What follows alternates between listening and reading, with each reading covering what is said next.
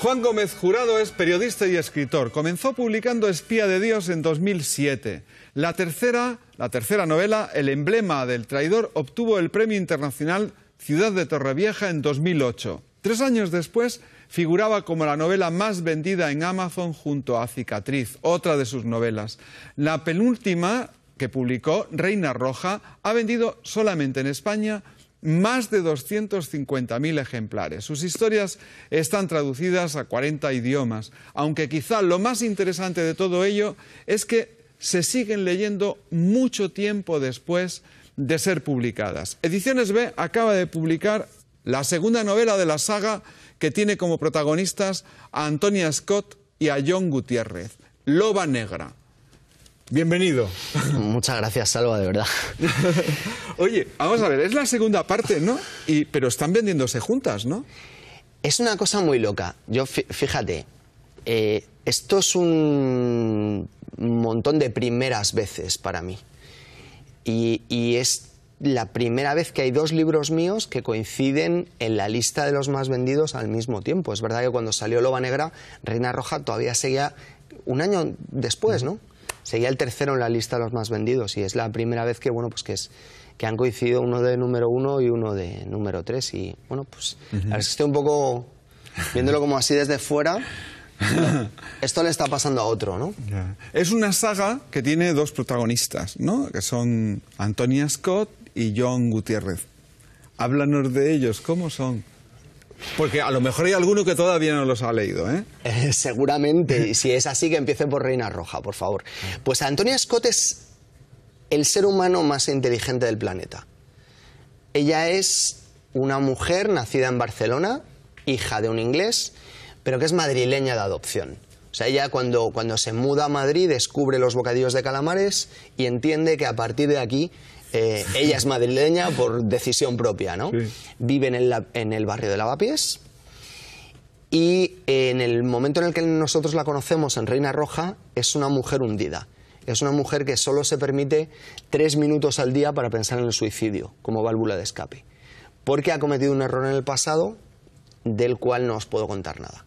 Y entonces a su puerta llama, llama el inspector de policía John Gutiérrez que le pide que le ayude a resolver un caso extraordinariamente difícil y que solo una mente privilegiada como la de ella va a poder resolver. Y luego, pues, por supuesto, tenemos a John, del que os acabo de hablar, que es un amor de persona. Yo siempre digo que si me gustaría parecerme a alguien sería John Gutiérrez, ¿no? Es un tío leal, valiente, cariñoso, muy divertido y que además siente un amor incondicional por Antonia, que va a ir creciendo a lo largo de, las páginas. Es un amor... Eh, Platónico, ¿no? Porque él es gay. Él es gay, él es gay, pero, pero es, una, es un amor eh, puro, completamente, ¿no? De lealtad, de amistad, de, de, cercanía pero que no se transforma, no se va a transformar en nada sexual tampoco, ¿no? Porque aparte tampoco creo yo mucho en, esto de la tensión sexual entre los protagonistas. No, no, me, no me atrae demasiado, me parece que ya lo hemos gastado mucho. Eso, Vamos a ver, los dos son mestizos, ¿no? Porque John, ¿no? Es un nombre vasco, Gutiérrez es un apellido castellano. Sí. Antonia es un, es un nombre castellano, Scott, ya lo decías tú, ¿no? Es hija de un inglés. Yo creo que en el mestizaje es donde está la salvación. Creo que en, en juntar cosas que aparentemente parece que no tienen mucho que ver, es donde nos encontramos todos mucho mejor, donde, donde encontramos la respuesta a todos los problemas que estamos teniendo hoy en día. Pero vamos, tampoco me quiero poner demasiado intenso porque no, no, es, ese tampoco el, no es ese tampoco el objetivo de la novela. ¿no? A mí lo que me importa de verdad es entretener. Bueno, no es poco, ¿no? Entretener no es poco, es bastante difícil, para, ahí para quienes es imposible. En tu caso, has podido entretener ¿no? a los lectores desde el principio y de hecho hay gente que lee ¿no? y el primer libro que lee ya de mayor es un libro tuyo, ¿eso? Eso es, eh, eso es una cosa que de verdad me maravilla tanto y, fíjate, me enorgullece eso más que el número de libros que vendo. Te lo digo en serio, ¿eh? Porque cuando alguien te escribe un email o viene a una feria del libro normalmente acompañando a la mujer o al marido, ¿no? Eh, sobre todo a la mujer.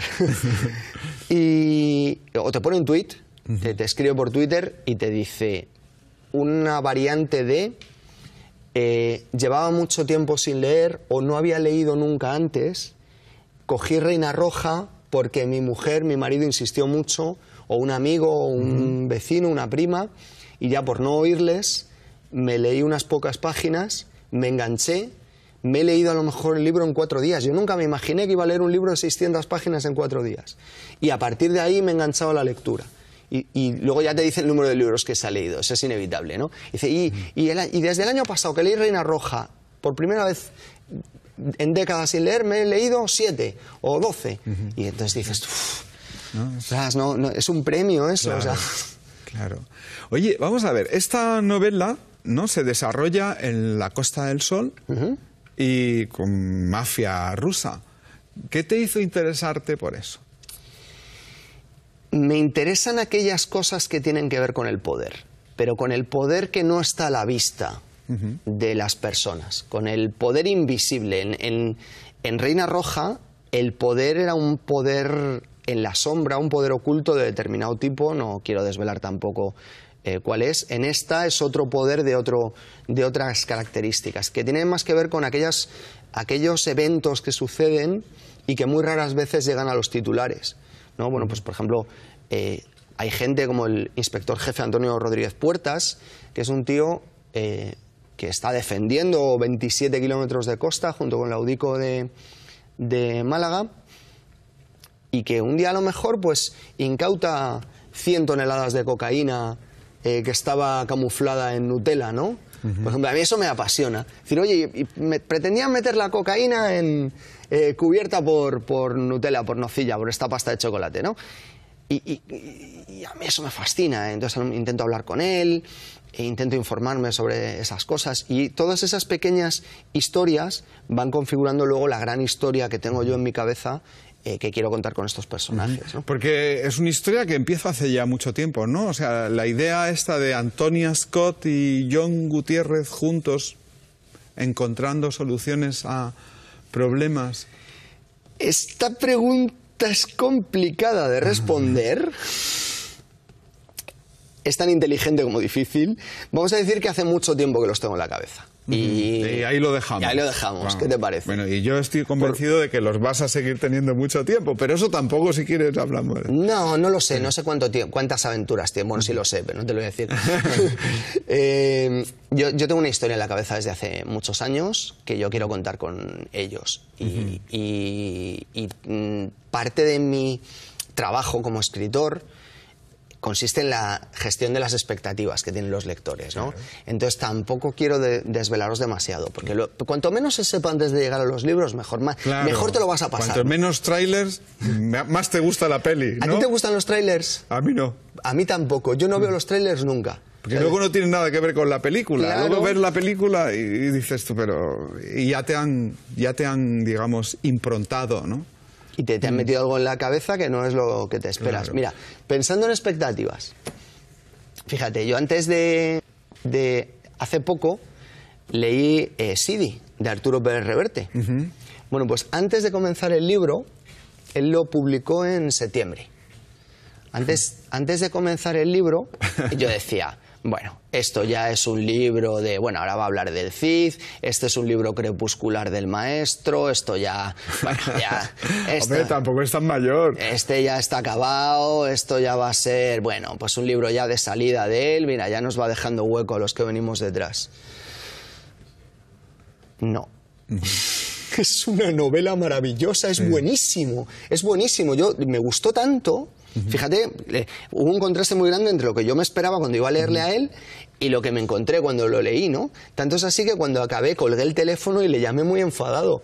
Y yo le dije, vamos a ver, pero si tú ya tenías que estar para el potaje y para, y para dejar hueco a los demás y tal, y has escrito este novelón que es increíble. Y, y me dijo, dice, ya sé que es muy duro lo de matar al padre, pero te lo voy a poner difícil. y dije, bueno, pues nada, pues así habrá, habrá que seguir esperando, ¿no? Pero ves, es eso.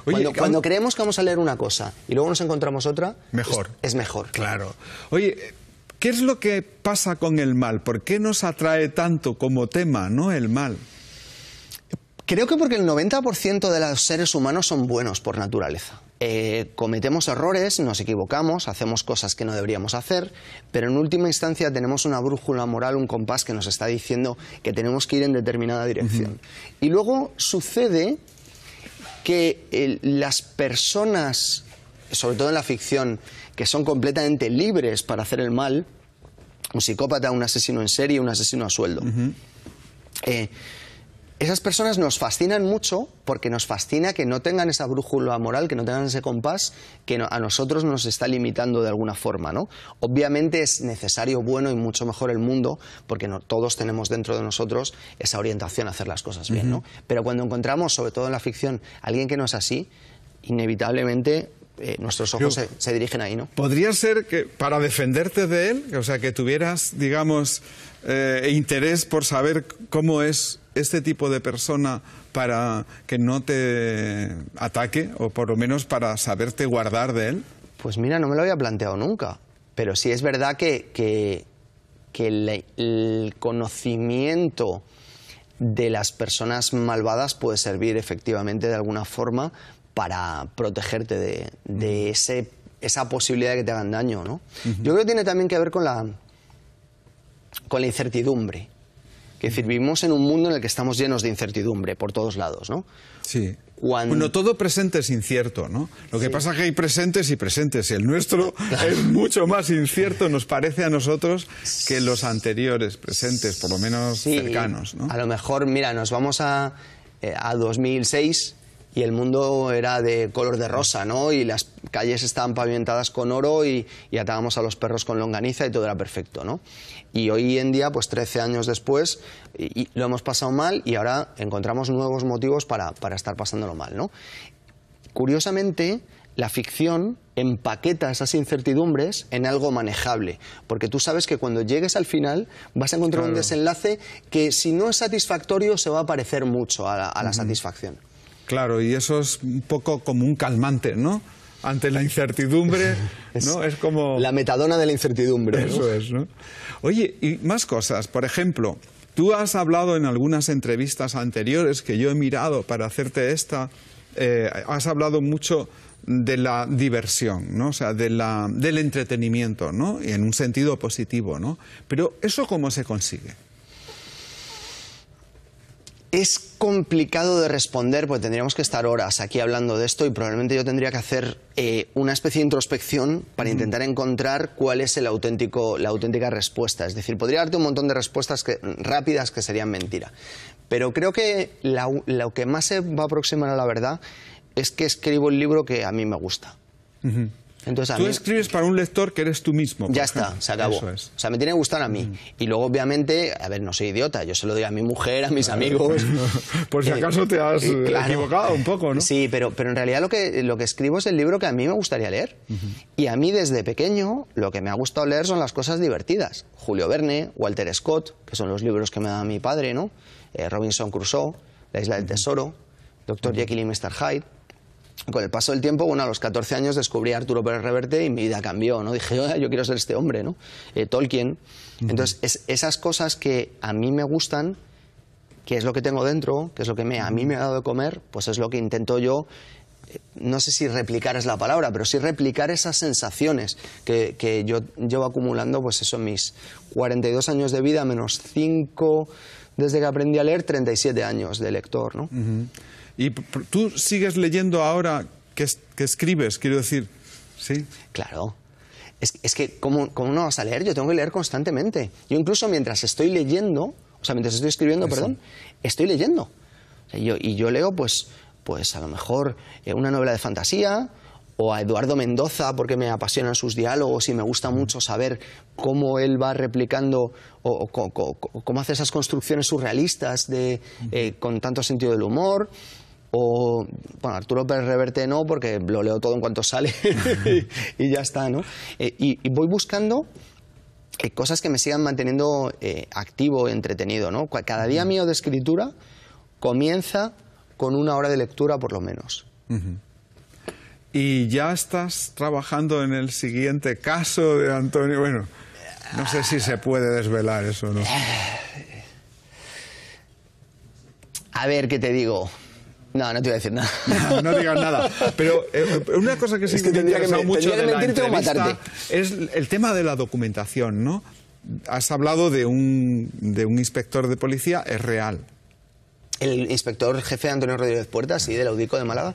claro. Es que nosotros tenemos en, en España una Policía Nacional, una Guardia Civil, unos cuerpos de policía que hacen mucho por nosotros y que por desgracia solo suelen ser noticia para mal cuando sale a lo mejor un antidisturbios que le ha pegado un porrazo a un señor y no vemos a los otros 80.000 profesionales, esos funcionarios del Cuerpo Nacional de Policía, que están protegiéndonos a diario por un sueldo que desde luego es mucho menor que el riesgo que corren y de la parte eh, difícil que están asumiendo. Y inevitablemente eh, a veces se equivocan, hacen cosas que no, se, que no deberían pasar en un Estado democrático, pero el 99% de las veces son gente que está haciendo eh, cosas muy necesarias y que muchas veces no le reconocemos. ¿no?